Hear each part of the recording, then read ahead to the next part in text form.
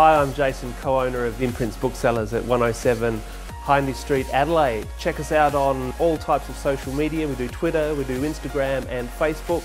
Our doors are also open. We are a brick and mortar store. Come on in, check us out, come in, say hello, buy a book.